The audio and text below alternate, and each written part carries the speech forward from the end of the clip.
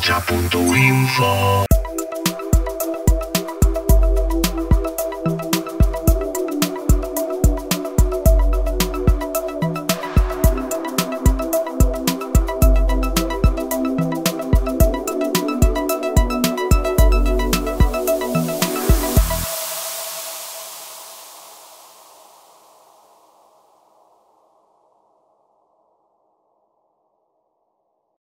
Bueno, gaur elkartu gara hemen e, bertze pandemia salatzeko, dela lan istripuen e, pandemia, pandemia isildua.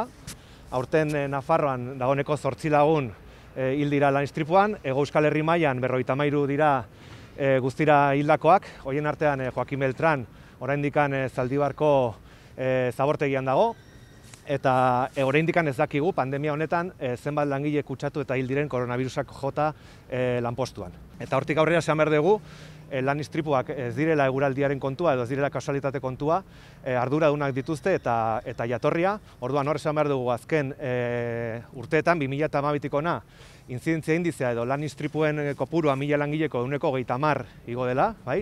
Hortik aurrera Nafarroko enpresek azken urtetan 2 milioi isun edo 2 milioi euro pilatzen dituzte lan e, araudegia ez betetzeko isunetan eta lan istripuen euneko berrogei e, gertatzen da zuzenean segurtasun neurri faltagatik. Patronalak nahi duena da lehendabiziko prekaritatea edatu, e, hortarako erabiltzen ditu oraindik ere lan erreformak, hor dago aldi bakterakotasun e, justifikazioa gabea, Nafarroan 3600 langile dira urte betean e, kontratu baino gehiago pilatzen dituztenak, Hortik aurrera e, privatizazioa bultzatzen du patronalak, Volkswagen Nafarrokoa da e, adibide garbia, e, bertan 2008 batetik aurrera, bertako e, 5.000 langile baino gehiagon kotizazioak gizarte segurantzari bideratzeari utzi eta bideratuko dizkiote e, Mutua Navarrari, Volkswagen Mutua Navarrako zuzendaritza batzordeko kide izanik.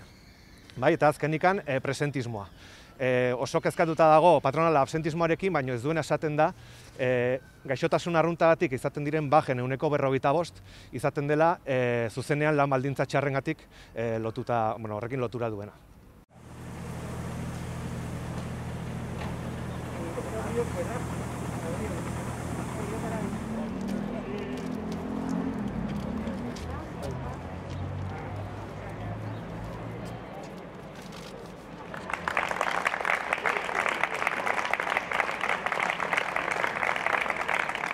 Datuak aztertzen baldin baditugu, atera dezakegun ondoria da Nafarroan lan istripu larriak eta hilgarriak igo egin direla. Eta hori da momentu honetan Nafarroan dugun errealitatea eta gainditu behar dugun eh, egoera eh, larria. Guk esaten duguna da momentu honetan ez dakigula zenbat langile hil diren eh, koronavirusak jota. Eta hau da erakunde publikoek eman behar duten datuak askotan esaten digut, ez, jendea kalean e, kutsatzen dela, beste toki batzuetan kutsatzen dela, baina ez dakigu martzoan bezala zein den benetako errealitatea enpresetan. Eta hori pandemia baten erdigunean e, jarri behar dugu, horretan jarri behar dugu e. Guk ikusten duguna da lan istripuen e, egoera eta arazoa arazo sozial bat dela. Eta e, pandemiarekin egiten den moduan e, ikuspuntu orokor batetik aurregin behar diogula eta e, neurriak hartu behar ditugula. Momentu honetan esan dezakegu langileok enpresetan lan indarkeria pairatzen dugula. Eta gula betik hiru eh, neurri zehatz ikusten ditugu. Lehenengoa da aldarrikatzea lan harremanetarako eta babez sozialerako marko propio bat.